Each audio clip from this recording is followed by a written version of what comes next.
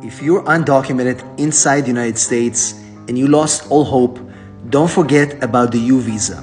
Probably seen many videos from other attorneys about the U visa. This is a visa that helps victims of crime that are helped for the police to get legal status in the United States. But what most people don't realize is that there is no statute of limitation on the crime. So for example, if this incident happened 10 years ago and you never took action, you can still do this now.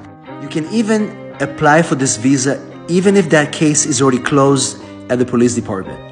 We had a client that was a victim of the crime of extortion. And when we had the consultation with the client, I told him that it doesn't matter. There's no statute of limitation. We can still pursue this. And while the case is closed, he was able to get the certificate signed by police officials and we are now able to use this to file his case. So never lose hope and always get a second opinion.